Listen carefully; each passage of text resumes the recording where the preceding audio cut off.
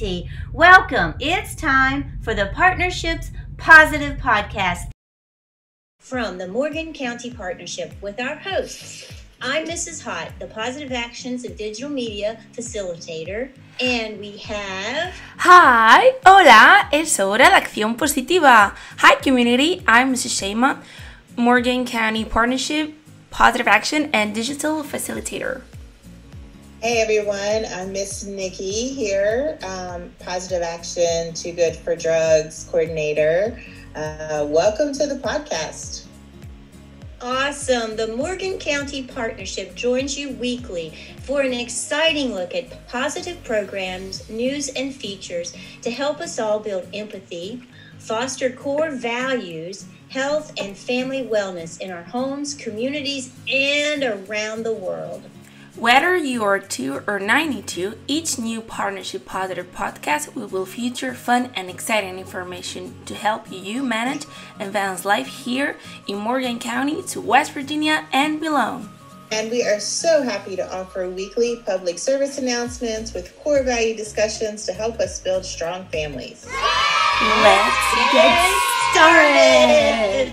Awesome. So, guys, we have been sharing this week on our digital media how empathy can change the world. That making an intentional effort to really listen to others, to listen to their story, and to make a connection with others, especially those who are different from us, is a potent force for change. Tell us, guys, what's coming up next? Well, we continue with today's positive preset from Pasada.com. Here it is. Every human being of whatever origin, of whatever station, deserves respect. We must each respect others, even as we respect ourselves. Oh, Miss Sheima, that is beautiful. What do you think it means? Hmm. I see a core value that it's essential today and always in our positive preset of this week respect. Respect. Oh, Miss Sheima, you're right. It says every human being of whatever origin, of whatever station, deserves respect. We must each respect others, even as we respect ourselves. And that was said by U Thant. Who was he? Anybody know? Well, I have a little information. Uh, U Thant was a Burmese diplomat Burmese, and yeah. Burmese, thank you. Burmese diplomat and the third United Nations Secretary General. He was widely praised for his diplomacy and peacekeeping skills, which were frequently needed during his turbulent period as UN Secretary General during the late 60s. Another turbulent time in history following the civil rights movement, movement and Vietnam War. The 1960s were one of the most tumultuous and divisive decades in world history, marked by anti war protests, political conflict, etc. Wow. It sounds like you then also live in a time when, when respect for others was very important too. That's right, guys. Respecting self and others then, back in the 60s, and now is an essential positive action. And U Thant, to me, builds respect using that good old golden rule. Did y'all hear that? Treat others the way you want to be treated, Yeah. respect others the way you want to be respected too. Now, coming up with Miss Nikki's positive PSA, it'll help us all to understand more about respect, right? That's right, because we need respect in our homes, our neighborhoods, and our world. It sure is important. You're right, Miss Nikki. And for positive actions this week, we'll be looking at the important core value respect at home and in our community. Respect is a choice we make, beginning with a positive thought, and then we can take that action, and those actions will indeed change the world. And won't that feel positive? Positive thoughts, actions, and feelings, right, guys? hmm Let's listen to this. What is respect? Respect is really about love. So when we respect our community, we start to help one another. Where does respect start?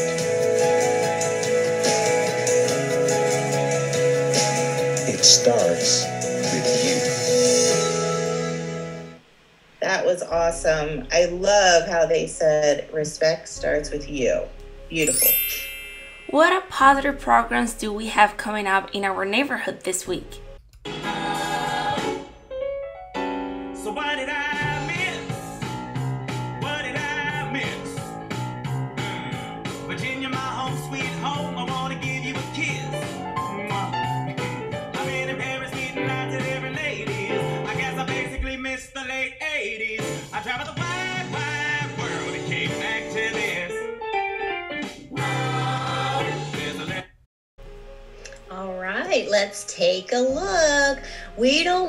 Families, friends, and communities to miss the fun online programs we have for our neighbors.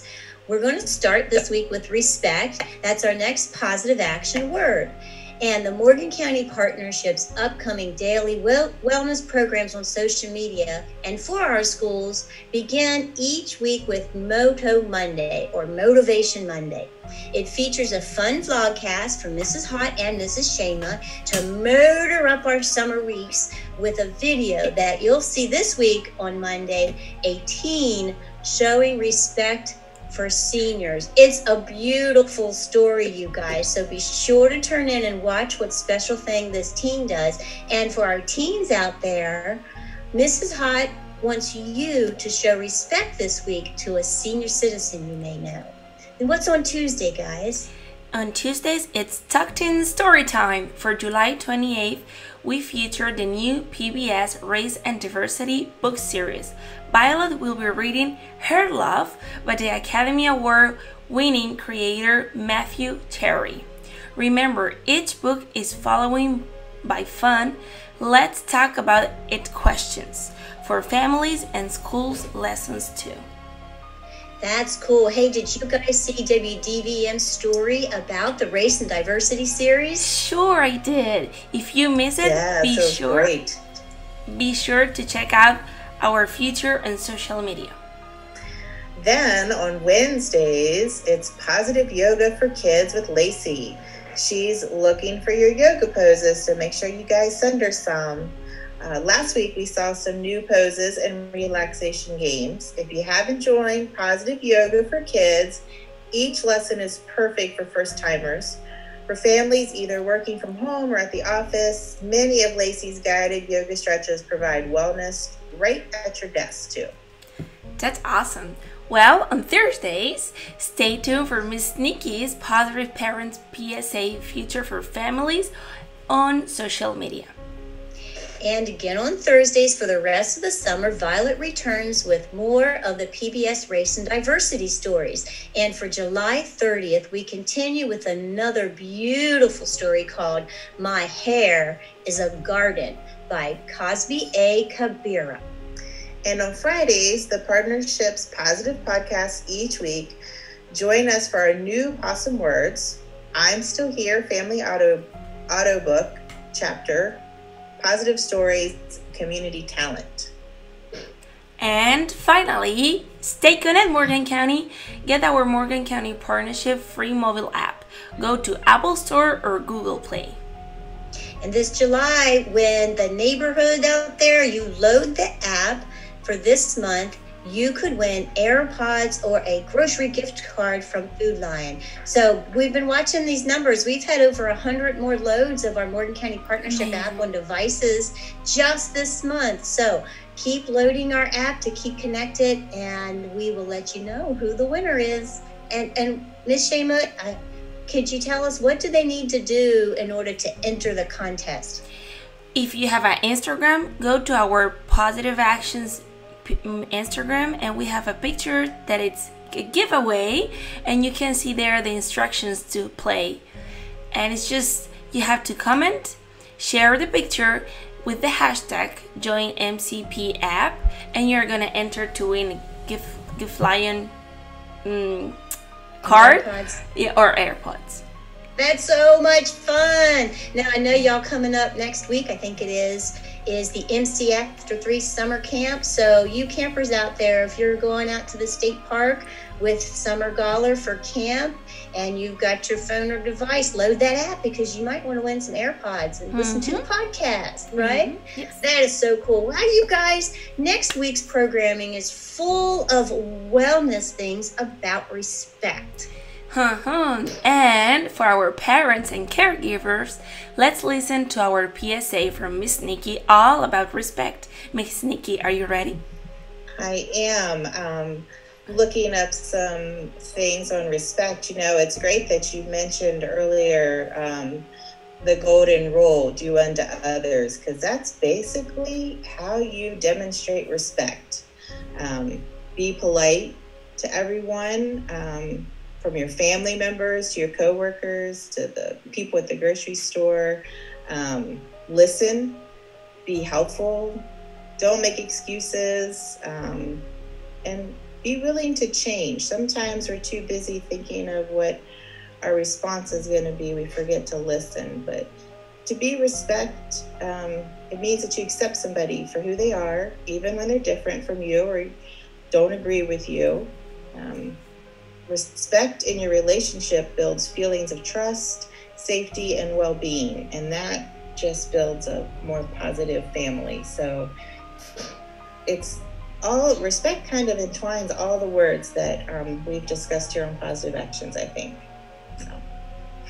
That's beautiful, Miss Nikki.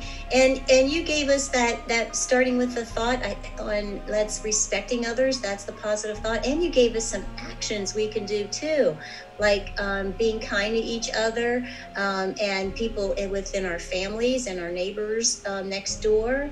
And uh, so let's. I think we should try that because when we show respect, it helps us feel better too, doesn't it, Miss Sheima? Yes. I, when I I feel positive when I feel respect and when I show respect to someone else, it makes me feel good too. What do you guys think? Yeah, definitely, yes.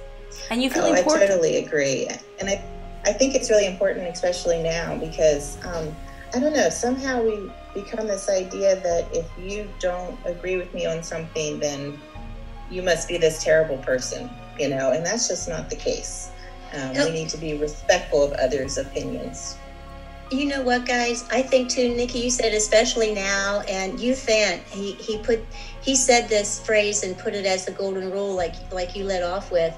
And in his time in the '60s, that was a crazy time too. And and Mhm. here again today, it's 2020, and and the world's crazy, and and we still need to follow that golden rule. And and like you said, especially now, you know what? I think sometimes people, because our world is way more digital now than it was in 1960, we still need to show respect if we're using technology and and we're not getting to see people. I, I feel like sometimes in, in following comments and things, um, people feel like, oh well, this is social media. I can I can just say anything, and it's sort of cowardly, don't you think? Hmm. It And- and is. so I, I feel like you know what community neighbors it we're not seeing each other as much as we used to because of the situation in the world but we still got to follow that golden rule and respect each other in the digital world as well um, i got to tell you over the weekend i saw where um, over in washington county people were just saying some terrible things and and i feel like you know would would someone really do that if they were face to face you know so and, Exactly. you know what i mean I did a, a lesson at the middle school a few years back, and we had a, a no social media challenge. And we had 14 days to stay off social media. But we talked about that. It's like, think about when you go to type something, would you say that to the person if they were standing right in front of you? And most of the time, the answer is no, you would not. So you gotta gotta remember, think about the other people when you start typing. Sometimes you might have to delete instead of hit send. yep, you're absolutely right. And, and it's important right now, um, especially uh, U Thant had it right. We respect ourselves because we and we respect others, and and it's important to show respect to everyone equally in, in this day and age, and do that with positive thoughts, actions. Because if you if you just try it, neighbors, you're gonna feel so much better showing someone different from you respect. So that's my challenge. Let's try it. Mhm. All right, let's see. We still have, thank you, Miss Nikki. What an awesome parent PSA for our families. And um, on the podcast, remember on Thursdays, we do a preview um, each week on social media on what the parent PSA is going to be all about. And um, when, when I when I can, guys, I slip it in on our Moto Monday too, because I think this, um, when we have a discussion about the word and we know what it is from Miss Nikki, it helps us launch our week with a positive thought. So we'll have great actions also. Oh my goodness, what's next? It's time for announcements, announcements, announcements. Woo! There is so much stuff, you guys, to Oh do right here at home. I love it. Let's look at what's happening this weekend in Morgan County. Any ideas? Hmm. Did you know that the Washington Post recent featured a fun, a full page story in the magazine about summer and at the springs? Come experience it today. Splashing in the spring pools, farmers markets, shoppings, spa, dining out. Berkeley Springs is ideal every day. It is, you guys. And Miss Shema, I did not know the Washington Post. That's really cool. Yeah, I know it's I read amazing. Yeah, I read about that, but I didn't see it. But you can certainly look it up. Summer in the Springs here in Morgan County. Something else I saw that was pretty cool on BerkeleySprings.farm, um, dot, BerkeleySprings.com. I saw this announcement. It said this Yep, it's hot even here in the mountains. Y'all been hot this week? Uh-huh. Oh, oh my goodness! Like the heat index has been over a hundred, and community and neighbors, it is hot even here in the mountains. But there are water areas everywhere for cooling down. Morgan County has lakes, rivers, and the springs right downtown. I drove by 522 a couple days ago, and the springs had people. They were social distancing, but they were cooling off in the natural springs in right downtown Berkeley Springs. Also, you say you like to hike maybe? If you head west along the Washington Heritage Trail National Scenic Byway and cross the Potomac from our westernmost town, Paw Paw, you can stroll through the nearly mile long Paw Paw Tunnel. It's the largest man made structure on the C&O Canal, and it's really like the temperature because it's dark in there. Oh. Talk about cool and refreshing when you go through the tunnel if you're if you're feeling that heat index, right, Miss Nikki? Oh yes, we were there a couple months ago and we walked through and it was incredibly so much cooler in there. It's also a little dark, so make sure you take a flashlight. Um, but it was a lot of fun. Everyone should try it. What else is coming up? Uh, let's see. Uh, this week we have the annual um, Mountains Quilt Show opens at the Ice House Gallery. Um, quilters have been very busy under stay at home orders, and there are more than 100 quilts on display and for sale, along with numerous smaller fabric items. Uh, one that is not for sale because it is to be a gift for the people of Morgan County is the spectacular group bicentennial quilt with 34 squares showing highlights of county history and splendors, and it was created by 19 women. Um, I saw that and it's beautiful, so you should see it in person. Um, the gallery hours are Thursday through Mondays, 11 a.m. to 5 p.m., and the quilts are displayed in the galleries on two floors with plenty of spacing for you, and masks are required. You saw the quilt, Nikki? I did. I was at the celebration, the bicentennial celebration in Oh. the park, where it was really hot day, also. But yes, I got to see the quilt. Beautiful. I did. I, ha- I haven't. They're amazing, aren't they? Gifted on what they, They- I think it's an art on what they can use fabric to create. I didn't Yes. see the quilt, but I did see a And- picture. each square has a different um, meaning or history uh, kind of lesson to it, I believe. It's Oh, that's cool. Hmm, maybe that's something we can share when school starts up in the fall. Yeah. Cool. Thanks, Miss Nikki. Let's see what else. How about this? Stress relief is tops on everyone's list, and maybe a facial or a pedicure too. Whatever indulgences your body needs are safely available in the spas of Berkeley Springs. Check out the menu of more than 52 different treatments at berkeley-springs.com, plus a bonus of free yoga with Hiroko in Berkeley Springs State Park every Saturday at 9 a.m. Please bring your own mat. Now, I noticed on their social media they've had pictures of Hir- Hiroko's yoga on Saturday morning. It looks awesome. They are social distancing, so it's safe and healthy. And you know what, guys? I really want to go, but I can't get myself out of bed that early. I oh. understand. It all sounds wonderful. And neighbors and visitors I like, remember to visit many restaurants uh, for outdoors dining and live music this weekend too. Uh, now open at Cacapon State Park is a new beginner level mountain bike trail named Rock and Roll, just downhill from the Nature Center. There are two loops an inner, which is 1.2 mile loop, um, that's the easiest, and a more challenging one mile outer loop. Um, it's about five inches wide, flowing trail that's suitable for everyone.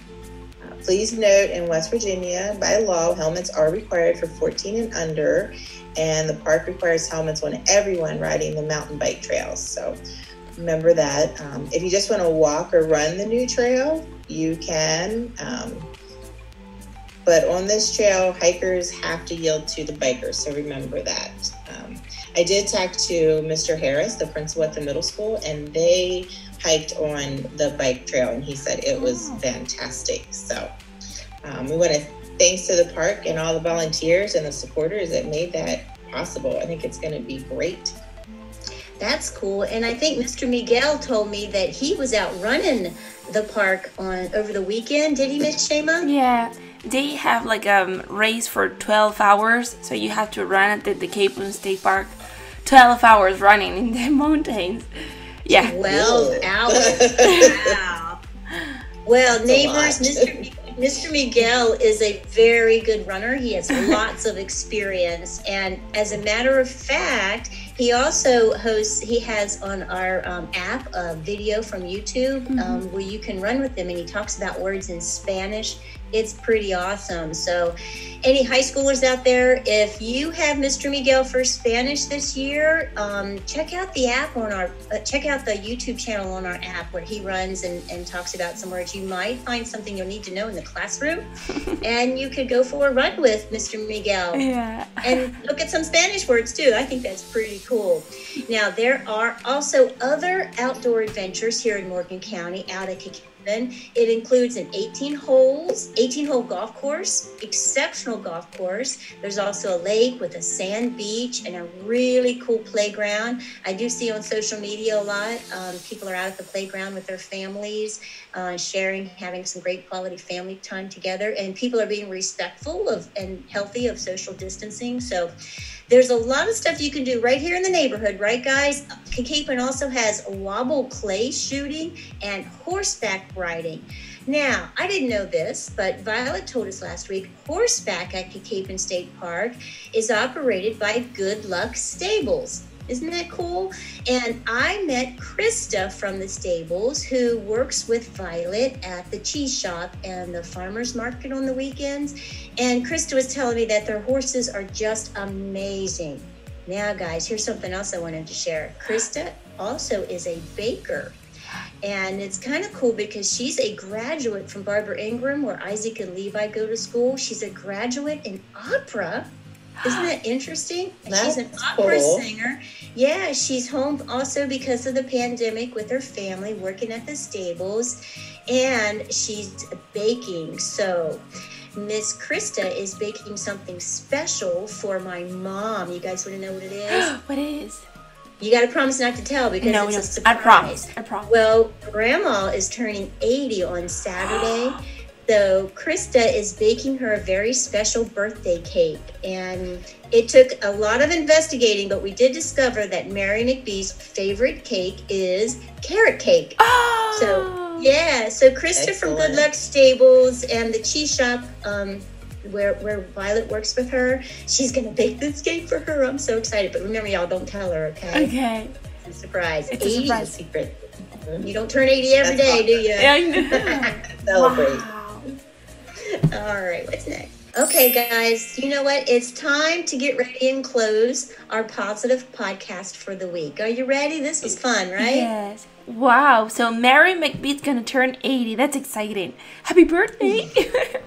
well, community, from 2 to 92, young and old, it's been fun podcasting with you today.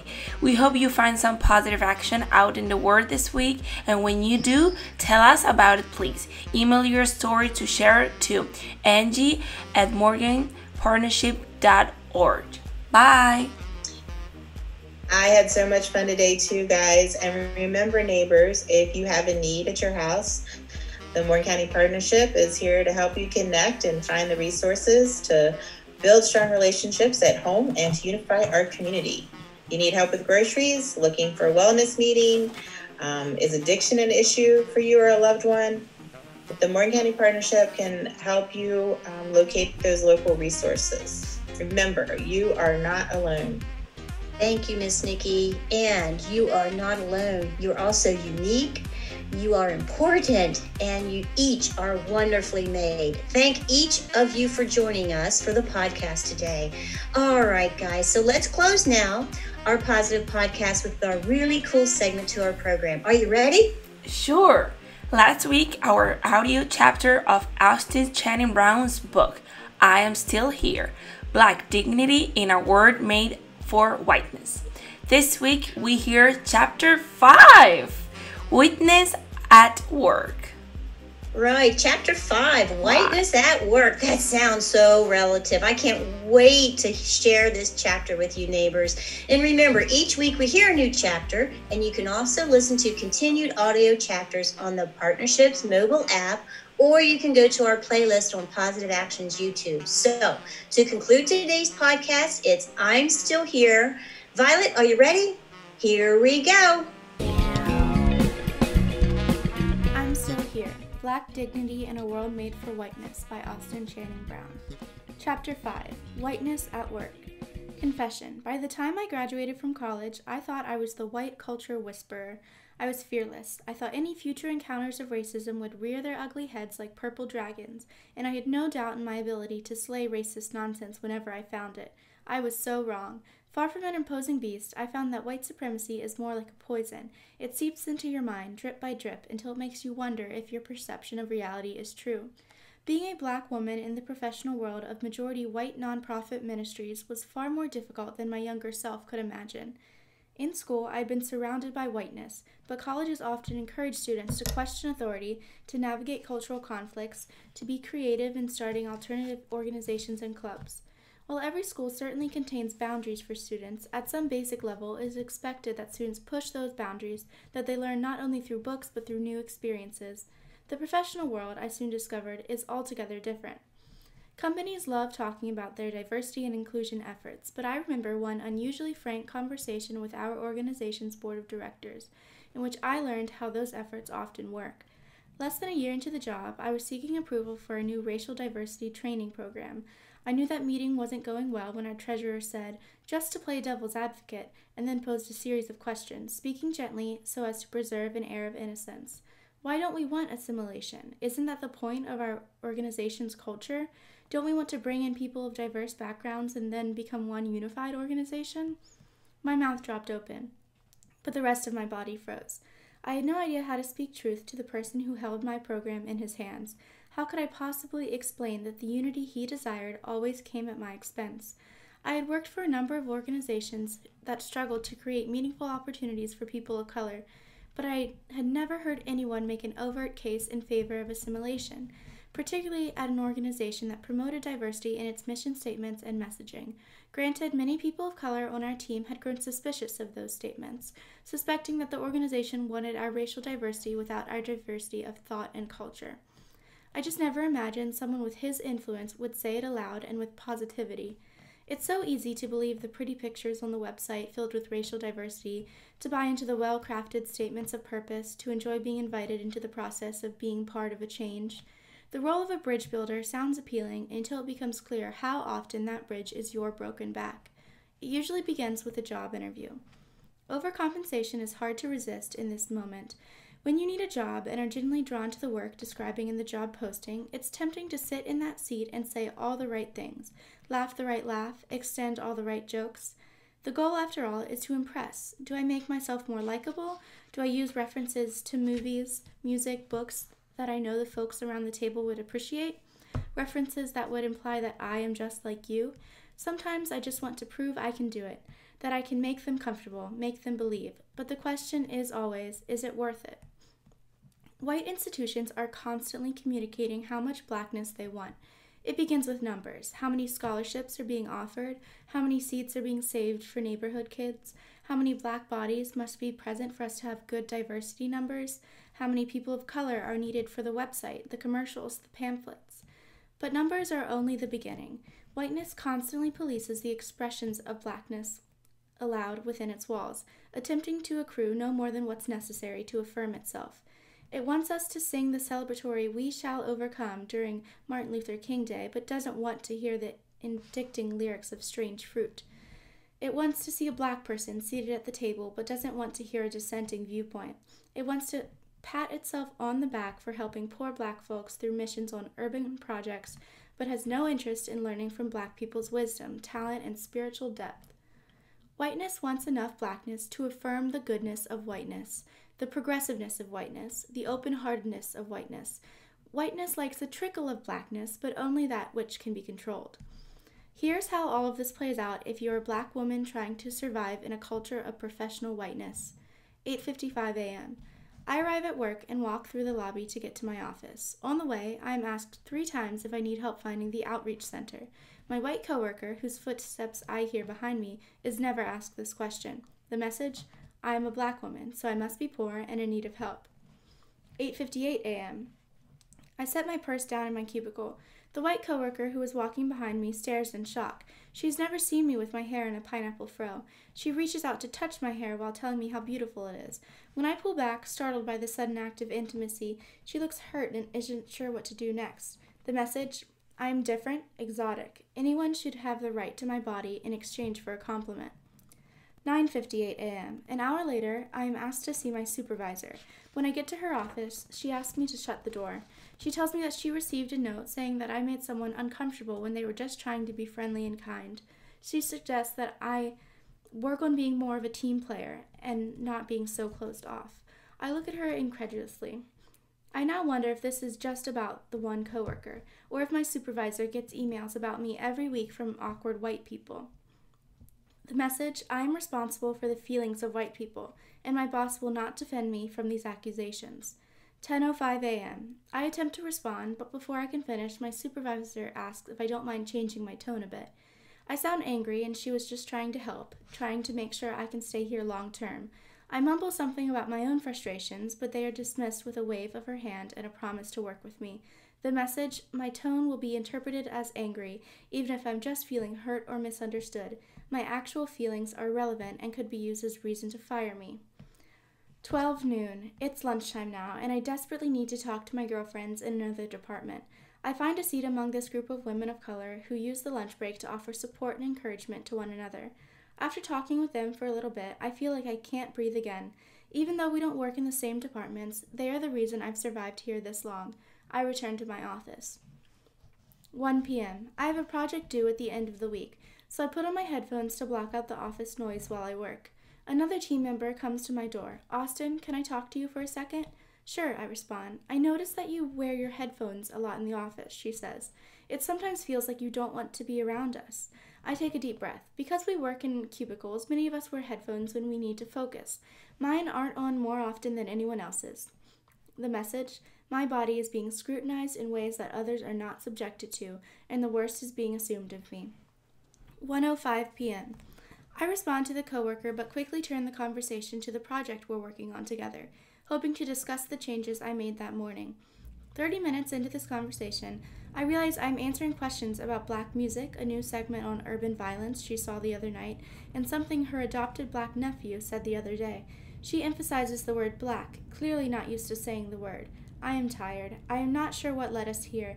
The message I am here to educate my white coworkers when they are confused about a racial issue in their lives. 1:40 p.m. I take a deep breath. Hey, I need to stretch my legs. I'm going to get some coffee. You want anything? I don't like coffee, but I will get some anyway if it helps end this conversation. 1:50 p.m. Standing in line at the coffee shop next door, I quickly noticed a man who stopped me in the hallway and referred to me as colored. He had come to one session of my Tuesday night class on race and thought it appropriate to pepper me with questions about blackness, well, coloredness, since he'd decided not to continue coming. Rather than answer his questions on the spot, I told him he should come back to the next class. But now here he is behind me. Maybe he won't speak up, or maybe he'll think of me think he has me confused with another black person. He doesn't say anything, but my body is stiff with anticipatory tension. 2:07 p.m. As soon as I get my coffee and turn toward the door, it happens. Someone I have never met insists that she emailed me and can't wait to chat more. She's right that we work at the same organization, but I've never seen this woman. I think you have me confused with someone else, I say. She insists that I am wrong. Oh no, don't you remember? I stare at her blankly, my warm coffee reminding me that I am not in the sunken place. I let her finish, then I repeat slowly, I think you have me confused with someone else. The explanation continues until I am given enough information to know which black person she has me confused with. Nope, that's not me. You're talking about Tina in the communications department. She's amazing. You two will have a good talk, I'm sure. Her eyes grow wide, embarrassment climbing her face. I'm so sorry. I have to run. I say before the apologies get messy. The message? My body, my person is not distinct. I'm interchangeable with all other black women. 2:17 p.m. I'm back in my office, preparing for an afternoon staff meeting in which I will give a short presentation.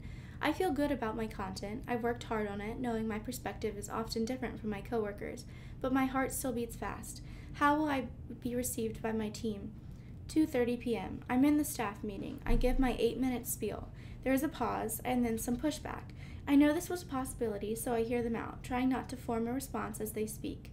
Another coworker pipes in before I can respond. I think what Austin is trying to say is suddenly everyone is nodding in agreement, even though I'm pretty sure she just repeated me almost word, for word. The message I need white approval and interpretation before my idea will be considered good. 3:30 p.m. The meeting has closed, and some coworkers race behind to their cubicles. Even though I am behind on emails, I know that I must stay and chat. If I race back to my cubicle, it will be interpreted as me being antisocial.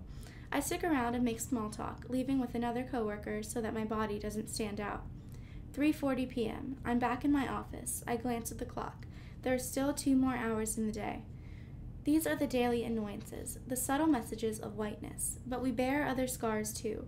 Over and over, I have seen white men and women get praised for their gifts and skills, while women of color are told only about their potential for leadership.